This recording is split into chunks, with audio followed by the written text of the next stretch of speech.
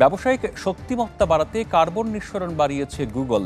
দু হাজার উনিশ সালের তুলনায় দু হাজার তেইশ সালে গুগলের গ্রিনহাউস গ্যাস নিঃসরণের পরিমাণ বেড়েছে আটচল্লিশ শতাংশ। দু হাজার চব্বিশ সালে এনভায়রনমেন্ট রিপোর্টে উঠে এসেছে এমন তথ্য। এআই প্রযুক্তির প্রতিযোগিতায় টিকে থাকতেই কার্বন নিঃসরণ বেড়েছে এই টেক জায়ান্টের।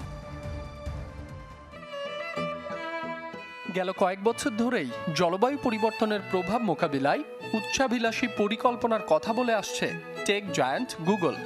দুই হাজার ত্রিশ সাল নাগাদ নিজেদের কার্বন নিঃসরণ শূন্যের কোটায় নামিয়ে আনার প্রতিশ্রুতিও দেয় তারা। তবে কার্বন নিঃসরণ কমানোর পরিবর্তে উল্টো তা বাড়িয়েছে প্রযুক্তি প্রতিষ্ঠানটি। এমন তথ্য উঠে এসেছে দু হাজার চব্বিশ সালের পরিবেশ বিষয়ক প্রতিবেদনে। এতে বলা হয়, দুই হাজার উনিশ সালের তুলনায় দুই হাজার তেইশ সালে গ্রিনহাউস গ্যাস নিঃসরণের পরিমাণ আটচল্লিশ শতাংশ বাড়িয়েছে গুগল। যার পেছনে দায়ী করা হচ্ছে টেক জায়ান্টদের, ডেটা সেন্টারে ডিজিটাল এনার্জি বাড়ানোর প্রবণতাকে। কৃত্রিম বুদ্ধিমত্তার কারিগরি উন্নতির জন্য খরচ হয় এসব ডিজিটাল এনার্জি।